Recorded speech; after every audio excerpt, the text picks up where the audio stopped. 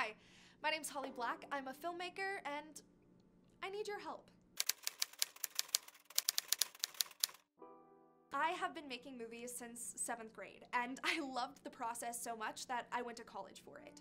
2020 was my senior year, and I had written my best film yet a poignant yet dramatic and comedic family drama titled Inheritance. And our cast and crew was loaded with talent. It was gonna be amazing. And then COVID hit.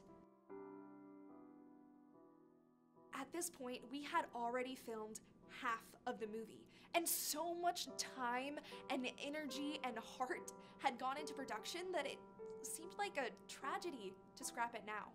So, after quarantine, I contacted the actors and they were totally on board to begin filming again. There was only one problem financing. You see, since EU Films is a class, all in our school was cut short, we lost all of our funding for the film. And that's where you come in. You see, if we had those people who support us to just kick in a few dollars here or there, we would have enough money to finish filming. And the people who made this, our team, care about the product so much that we're all volunteer. And so any money you donate would go directly to production cost. So that would help with things like location rental, food on set, costumes and props. This project means so much to so many people. And one of those people is me. And so it would really mean a lot to me if you would consider donating. Because it takes a community to make a film.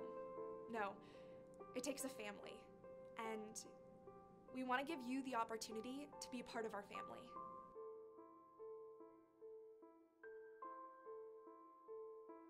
And if you would like to learn more about the project that you would be helping bring to life, check out our information below.